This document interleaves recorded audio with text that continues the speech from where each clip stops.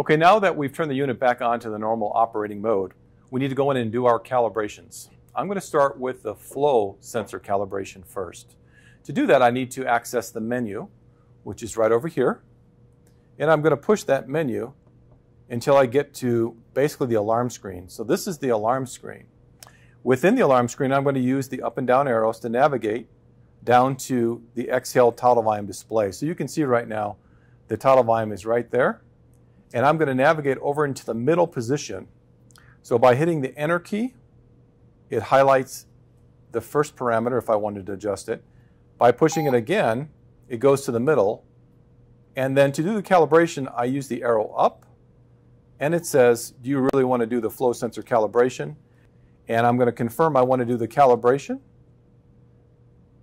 And I want to make sure that the end of the circuit is occluded, either with your hand or a gloved hand or the cap here. So right now it's in the process of doing the exhalation calibration. This takes probably about a minute.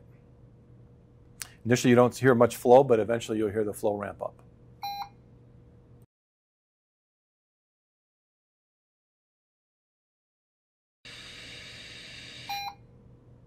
Okay, so it has just passed the flow sensor calibration. Uh, down below, if you did not pass, you would have an alarm here saying you failed the calibration. Please refer to the manual for things that you might want to check if you fail your calibration. So now that we've completed the exhalation flow calibration, we're going to move now down to doing the O2 sensor calibration, which is found under the FiO2 display here.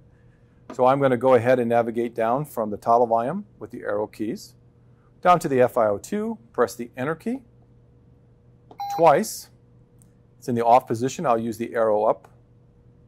And I do want to do a calibration. Yes. I will press the check mark to confirm I want to do the calibration. This is a very quick test. Okay, so it's already completed the, the test.